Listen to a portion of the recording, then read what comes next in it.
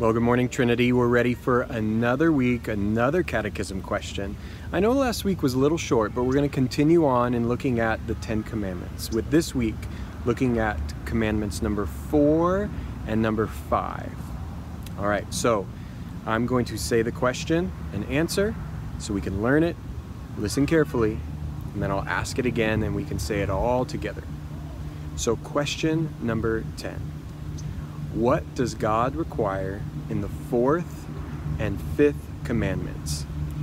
Fourth, that on the Sabbath day we spend time in worship of God. Fifth, that we love and honor our father and mother. Think you have it?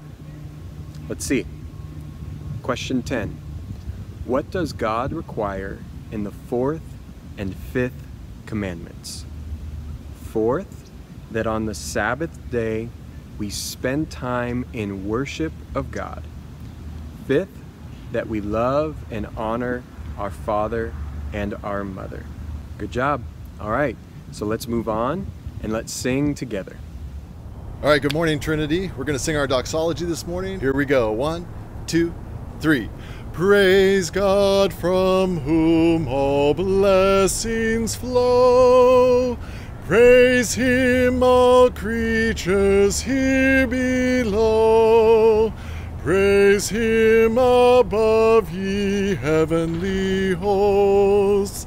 Praise Father, Son, and Holy Ghost. Amen. Have a great week.